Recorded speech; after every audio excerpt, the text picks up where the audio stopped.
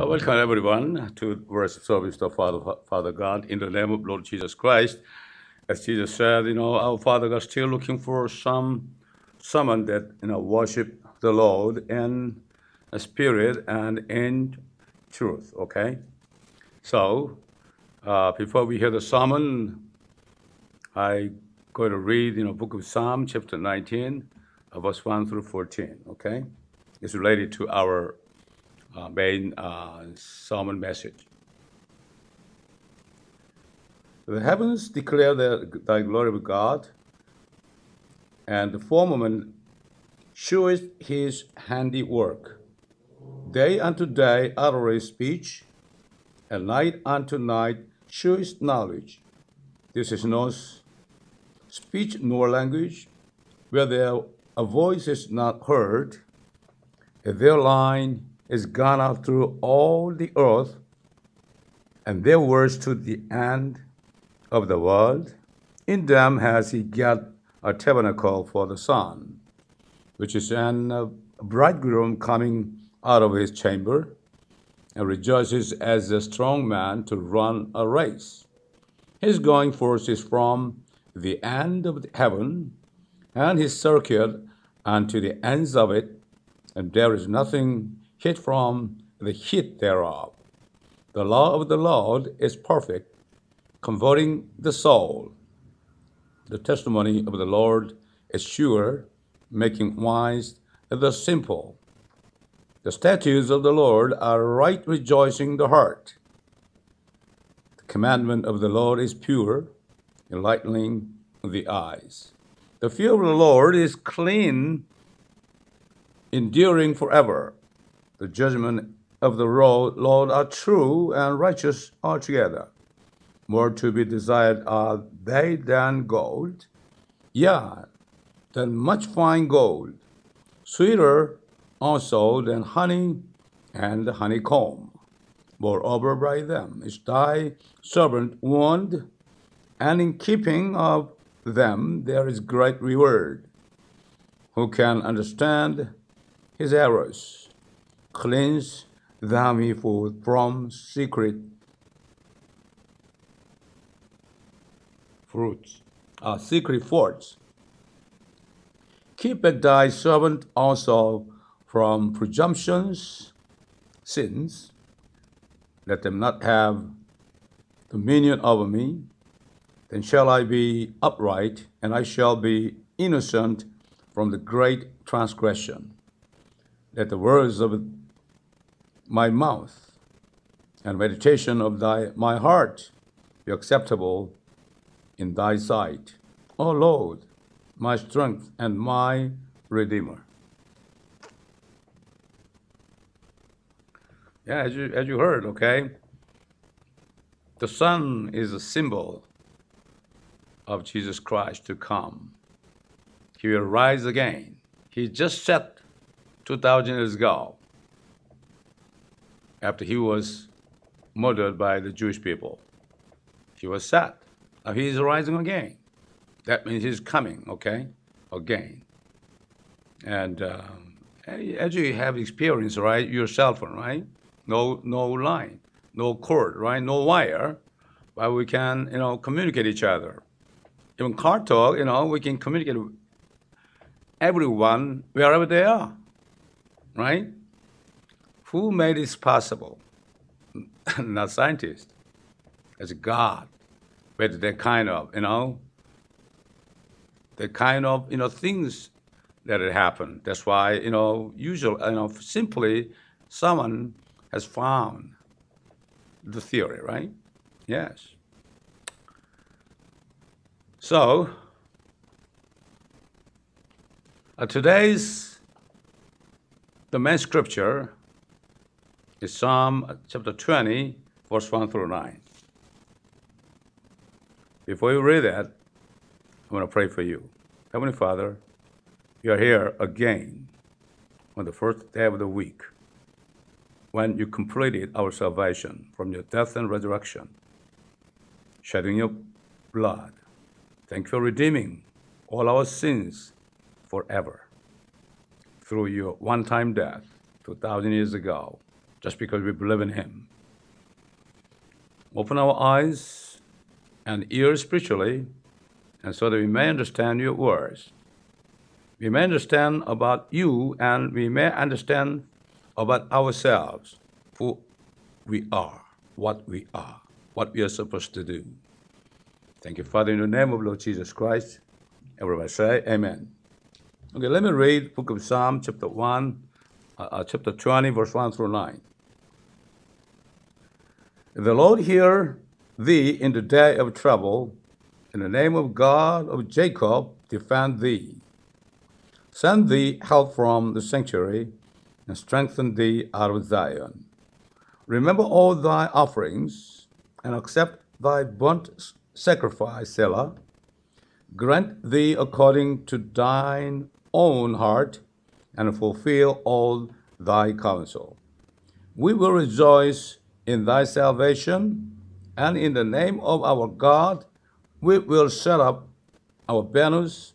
The Lord fulfill all thy petitions. Now know I that the Lord saves his anointed. He will hear him from the holy heaven with the saving strength of his right hand. Some trust in chariots and some in horses, but we will remember the name of the Lord our God. They are brought down and fallen, but we are risen and stand upright. Save, Lord, let the King hear us when we call. Amen. Yeah, as you see, today's, you know, the theme of sermon, God will fulfill his plan in the Lord Jesus Christ, even though it may be delayed. It may be slack. It may slacks. What that means there's two kind of timetables. One is the timetable of God, according to His plan. Another one is timetable for man and woman. Totally different. You know, some somebody you know want something just in a couple of months.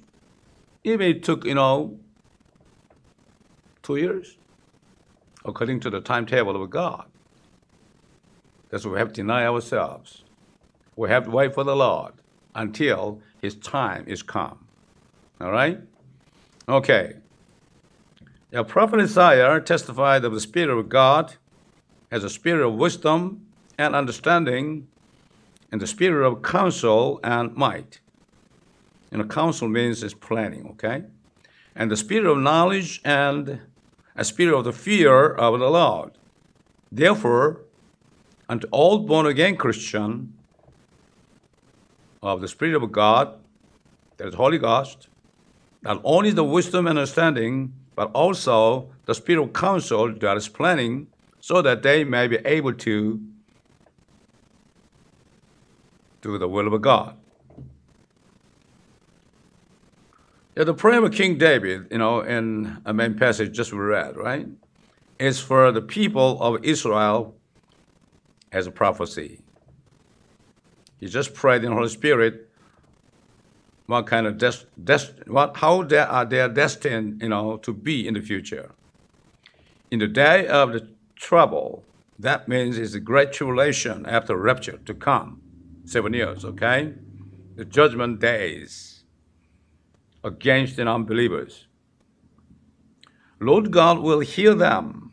Yeah, because you know Jewish people that believe in Jesus Christ major, you know most of them not believe in Jesus Christ, but because of that they had to uh, pass through the great tribulation, you know, terrible tribulation, seven years. But finally they will, you know, call upon the name of the Lord. The God will hear them. In the name of the Lord, Jacob will defend them, and he will send them help from the sanctuary in heaven and strengthen them out of Zion. According to the promise under the law of Moses, he will remember all their offerings and accept their burnt sacrifice. Yeah, God made a covenant with them, just giving them the law of God. In other words, they're giving Ten Commandments. Ten Commandments is a summary of all you know, details of the law of God. Yeah. Even though they had been involved in the fornication spiritually with Babylon, Assyria, Egypt, and so on, they had been chastened by God. Yeah, they have to, you know, disciplined by God. Had heard their prayer when they repented their sin. Afterwards, God destroyed the nations that had been used and exist upon seeing their arrogance. Whenever Jewish people of Israel sinned against God, God raised, you know, a Gentile nation such as Babylon, Assyria, Egypt, Persia, Media, you know, and Greece and Roman Empire. Even, you know, IS these days, right? Yes, many, um, many nations against Israel to chasten them. But after that, you know, most of the nations, they become arrogant, you know, not knowing they have been used by God as axes, okay, as a rod, okay, to, uh, to discipline the, his people. And God destroyed all the nations. Yeah, as you see, no Babylon, right? No Babylon, no Persia, no Assyria, no Egypt, you know, just like just the same Egypt when the Pharaoh was rule, you know, Pharaoh rule, right? No such kind of Egypt anymore. No Roman Empire, no Greece, you know, under Alexander the Great. Yeah. Because the history is is his story. All the past history is his story, you know, controlled by our Lord. You have to remember that. Why you study, you know, world history in school? Yes. Then you can examine the world history, screening into, looking into the words of God. Oh, yeah, God has done everything. All right? When their king of Jewish people, Jesus, appeared unto them in the earth 2,000 years ago. They rejected him and crucified him because they trusted the king of Roman Empire. It's called Caesar as their king. As they waited the price of the blood of Jesus to be imputed unto their children so far. 2,000 years, as we haven't seen. Multitude of them had been killed through the World War II but finally, upon hearing their prayer, God restored the land of Palestine partially according to the promise unto Abraham, their ancestor. And God has increased the number of them nearly 20 millions in their home country as well as in all other nations, including America. Almost 6.5 million, more than that these days. And they're still waiting for fulfilling Zionism to make them the people of priests of the world when the Messiah is to come. Even though the Messiah that they are waiting for is not the true one, they shall repent miserably upon looking at the Lord Jesus Christ when he comes, to knowing themselves killed their Messiah, their God. King David prophesied in the Spirit God shall fulfill his all his plan for them through the Lord Jesus Christ after all. They shall rejoice for their salvation through their Messiah when they repent in the midst of great tribulation, and they shall set up their banner of their Messiah in Zion, that is in Jerusalem. Finally, the Lord God will receive all the supplications of the remnant of Israel. Very small number of people in the millennium of the Lord Jesus Christ. Since then, they shall never worship the idols of Gentiles and no more trust the carnal weapons, but they shall trust only in their God, so that they shall serve their God forevermore. The Holy Ghost in King David led him prophecy to fulfill the will of God for Israel through him in the kingdom of the Lord Jesus Christ in the earth. Prophet Ezekiel prophesied of the things that shall be done in Israel in those days. Listen carefully, it's a prophecy going to fulfill pretty soon. Therefore will I save my flock. That means, you know, Israel. And they shall no more be a prey. Prey means P-R-E-Y, okay? To be eaten by Gentile, right? And I will judge between cattle and cattle. And I will set up one shepherd over them. And he shall feed them. Even my servant David, he shall feed them, and he shall be their shepherd. Yeah, because you know David resurrected when Jesus rose again from the dead. They raptured already. Many, you know, Old Testament saints. And I, the Lord, will their God, and my servant David, a prince among them. I, the Lord, have spoken it, and I will make with them a covenant of peace, and will cause the evil beast to cease out of the land, and they shall dwell safely. Yeah, they dwell now in terror, right? In the wilderness, and sleep in the woods. And I will make them and the places round about my hill a blessing, and I will cause the shower to come down in its season. You know, shower is a blessed rain, right? No more shower in California. No more rain these days and making this land you know desert. Have to pray for that. And there shall be showers of come down in his season. There shall be showers of blessing, and the tree of the field shall yield their fruit, and the earth shall yield their increase, and they shall be safe in their land, and shall know that I am the Lord, when I have broken the bands of their yoke and delivered them out of the hand of those that serve themselves of them. And they shall no more be a prey to the heathen other nation, right? Neither shall the beast of the Israel uh, land devour them, but they shall dwell safely, and none shall make them afraid.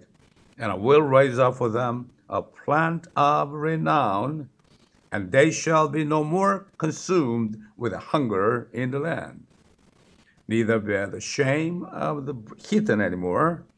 Thus shall they know that I, the Lord their God, am with them, and that they, even the house of Israel, are my people, says the Lord God. And you, my flock, the flock of my pasture, Amen. And I am your God, says the Lord God. You remember, you know, at the time of Noah, except in a Noah family, eight, eight persons, everyone on the face of the earth was, you know, swept away by the flood, right? Jesus said, when I come again, shall be exact same as the time of Noah, right? Yes. And he will establish his kingdom in the earth. Nobody, no sinners, no evil people all right, only righteous people abide. You know, it is our hope. Imagine how much wonderful heaven and earth shall be and New Jerusalem. Even though the people of Israel have broken the law of, the, of God, that is the old covenant, the Lord God as prophet Jeremiah and also prophet Isaiah of the new covenant that shall be established with God. Apostle Paul, the writer of book of Hebrews, testified of the new covenant for Israel in the Spirit. For finding fault with them, he saith, Behold, the days come, says the Lord, Listen, what kind of day come?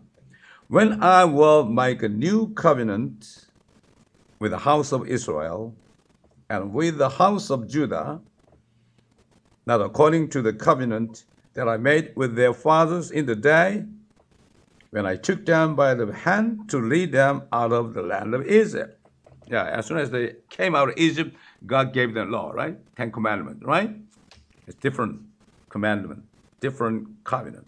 Because they continued not in my covenant, they never keep the law. And I regarded them not, says the Lord. For this is the covenant that I will make with the house of Israel after those days, says the Lord. I will put my law into their mind. No more in the paper, no more in stone. Just like Ten Commandments engraved in stone, right? Their mind. And write them in their hearts. And will be to them a God. They shall be to me a people. Yeah, finally, people of Israel shall be people of Lord Jesus Christ. And they shall not teach every man his neighbor and every man his brother, saying, Know the Lord, for all shall know me, from the least to the greatest. And when I went to Jerusalem, whenever I meet people, you know, in Jerusalem, nobody knows Jesus Christ. But in those days when Jesus came and established his kingdom in the earth, and nobody, nobody there who doesn't know the name of Jesus Christ because he already, you know, reigning in the earth as a king of kings and lords. Okay, he continues to say, For I will be merciful to their unrighteousness. Yeah, because we believe in, believe in Jesus Christ. That's why he has been merciful for us to save us, you know, forgiving all our sins. Same thing. Same thing. When Israel repent their sin, they shall be able to receive the mercy of God regardless of their past unrighteousness. And their sins and their iniquities will I remember no more. In that he said, The new covenant he hath made the first old. Now that which decayeth and waxeth old is ready to vanish away. What a wonderful mercy of God.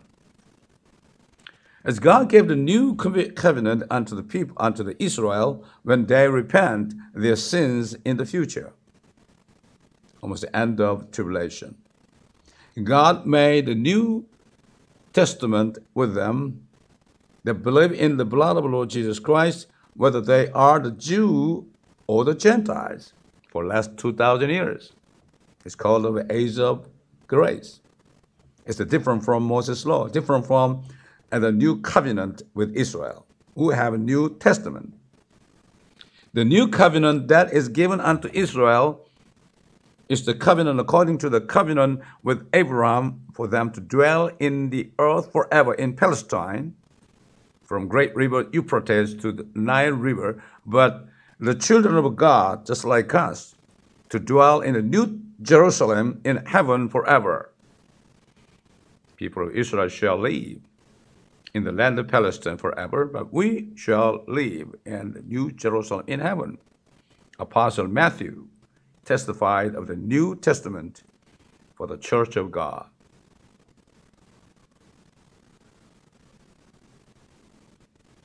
And as they were eating, Jesus took bread and blessed it and brake it and gave it to the disciples and said, Take, eat. This is my body. And he took the cup and gave thanks and gave it to them, saying, Drink ye all of it, for this is my blood of the New Testament, which is shed for many for the remission of sins. Even though he died for all, but all, but you know, unfortunately, not all man shall not believe in him. That's why my blood of the New Testament, which is shed for many for the remission of sins. Remission means forgiveness. But I say unto you, I will not drink henceforth of this fruit of the vine until that day when I drink it new with you in my Father's kingdom. Yeah, when Jesus comes back as King of Kings, la la la. In Jerusalem, he he will, you know, drink new wine with them. And all and all and to all Christians. That have the New Testament. That was given to his church. That is purchased by his blood. Are blessed to be used to fulfill the will of God. Apostle Paul testified unto Timothy, he's a pastor. He said, God wants to save all men and let them come unto the knowledge of the truth. As God had been delivering the people of Israel in the midst of the days of trouble, that is, great tribulation, and protected them, and the same blessing upon the children of God and in the church of God is as the spiritual Zion. God also sent help and strengthened us also these days. And God wants us to fulfill all the plans given unto us in the Lord, so that we are supposed to set up the banner of the gospel of Christ in all the earth. The blessing given unto the church is a double blessing compared to the one for Israel. For Israel shall be the people of priests in the earth, but the blessing for his church is not only to be the royal priest reigning with Christ in the earth for thousand years, and also to dwell in the new Jerusalem in heaven with them forever. As Jesus spoke unto his disciples about the parable in details in the book of Luke, chapter 19. Someone shall reign in ten cities, and someone else reign in five cities when Jesus come to the earth as the King of Kings and Lord of Lords. But unfortunately, some others shall have no reigning power at all. The shameful salvation. Apostle Paul testified of the glorious blessing of ruling with Christ Jesus in his millennial kingdom. If we suffer, we shall also reign with him. If we deny him, he also will deny us. And if children, then they then heirs, heirs of God, and joint heirs with Christ. If so, be that we suffer with him, that we may be also glorified together. For I reckon that the suffering of this present time are not worthy to be compared with the glory which shall be revealed in us. But if we hope for that, we see not. That we see not. We cannot see with our eyes, right? Then do we with patience wait for it. Yes. That's why you're supposed to walk by faith, not by sight.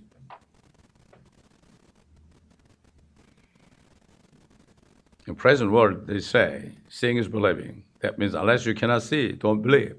Because you cannot see Jesus, you, you, you don't have to believe. Yes. It's a total education of, you know, modern school and philosophies, or other religions.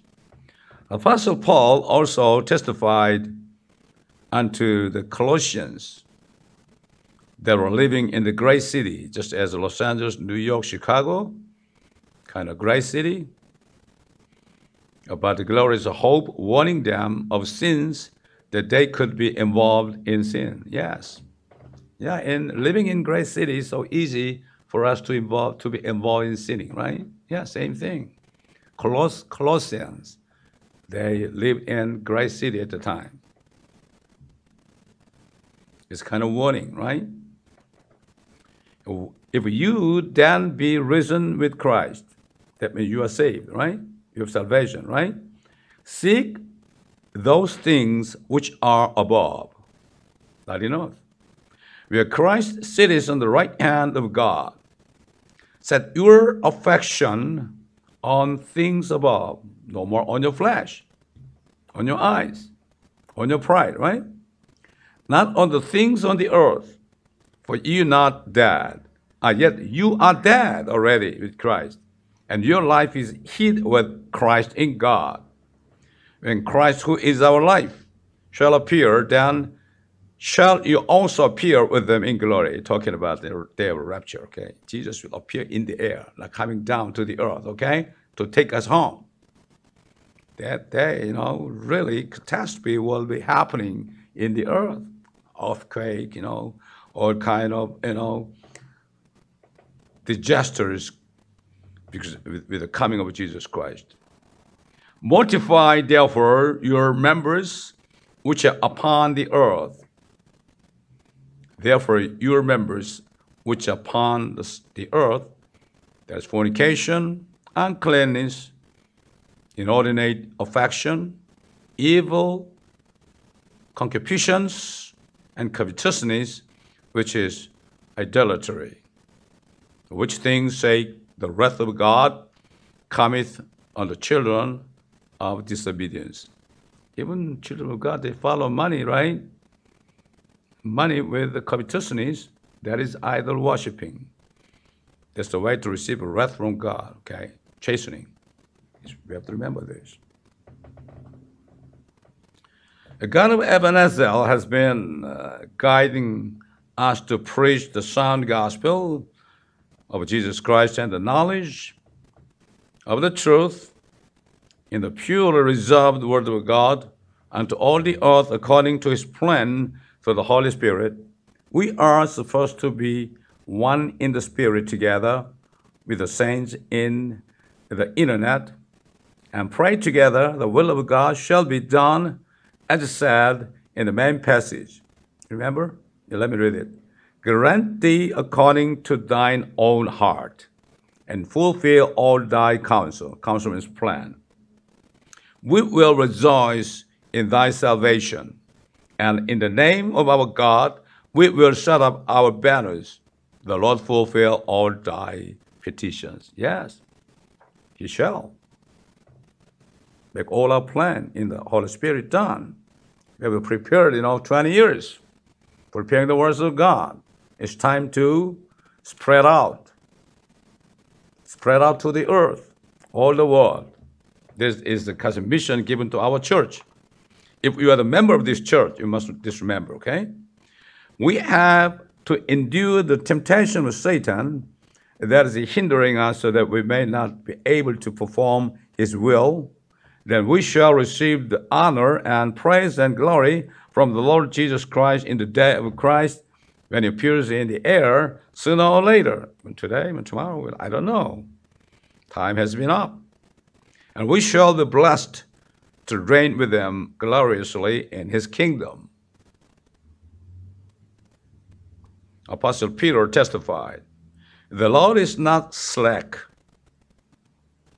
concerning his promise. Even though we think, oh, his plan is delayed, you know, but no slack, no delay.